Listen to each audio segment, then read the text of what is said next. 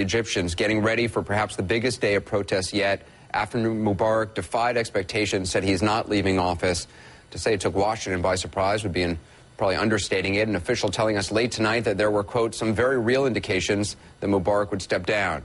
So much so, earlier this afternoon, President Obama was already hinting at a post Mubarak Egypt. We are following today's events in Egypt very closely. Uh, and we'll have more to say as this plays out.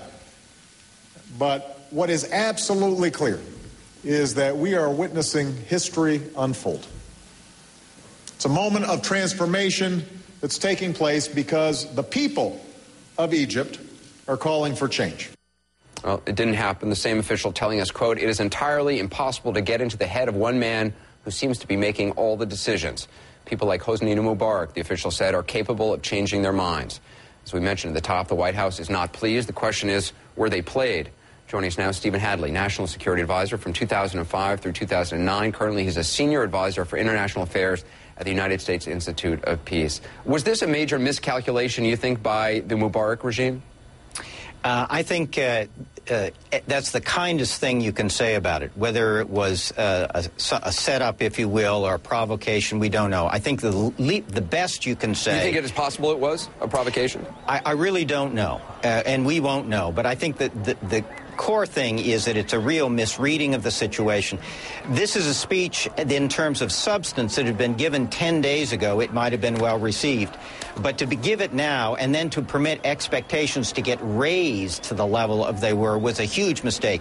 On something like this, you want low expectations. You want to exceed those expectations, and that gets you ahead of the crisis. They did just the reverse, and it put them behind the crisis, and it also narrowed dramatically the options that are available now to the uh, to the Mubarak administration going forward. They also, the, the Vice President uh, Suleiman, uh, President Mubarak, continue to, to propagate these laws, which they have, have been spreading for, for more than two weeks now, saying that these are outside agitators, that these are agents of Israel or Hamas or Hezbollah, that they're being paid, that it's, it's, it's foreign media, it's satellite news channels.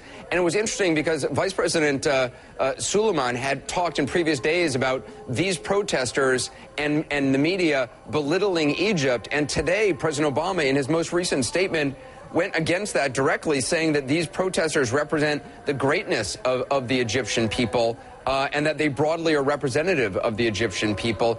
Do you think it seems to me that the people in that square and an increasing number of people who haven't been going to the square are seeing now the lies that they have been told, not just in the last few weeks, but for many years?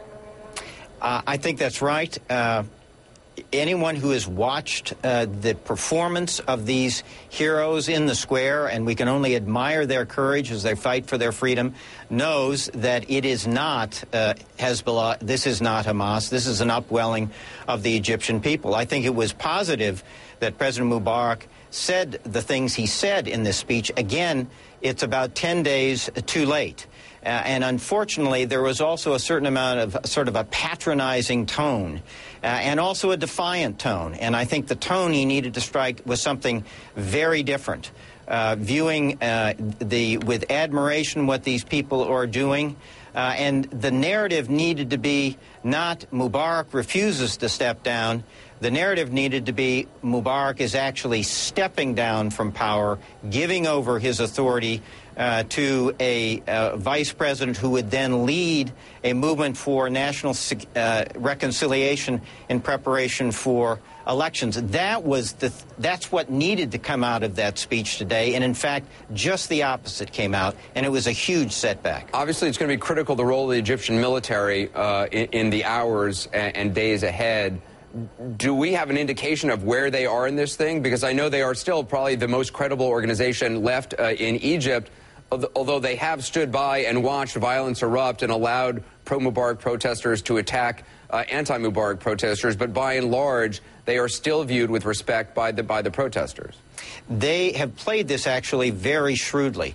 Uh, the initial reaction and response to the crowd was not by the army, but the Central Security Forces that led the crackdown, the crackdown that was not uh, successful. Then the army came in, uh, basically to uh, as they began to say, protect the protesters and protect the people.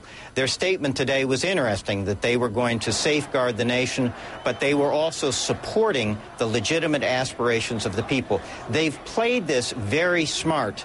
Uh, in a very smart way today. I think they probably have some foreboding about tomorrow because I think the last thing the Army wants to do would be to have to crack down on the protesters and forfeit all the goodwill that they have accumulated uh, from those people in the square. Uh, Mr. Hadley, stay with us. We're going to coming back to you at